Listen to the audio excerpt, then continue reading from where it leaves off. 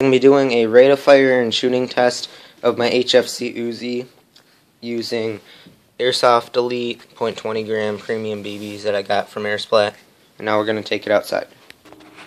Hey guys, alright, so I'm going to be shooting at this mailbox from about 30 feet away.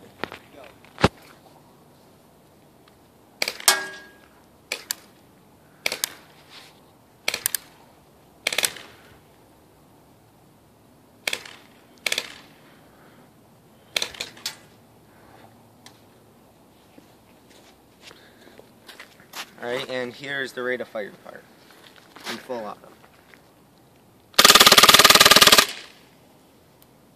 As you can see, it shoots pretty fast, like 20 rounds per second, and it's very effective.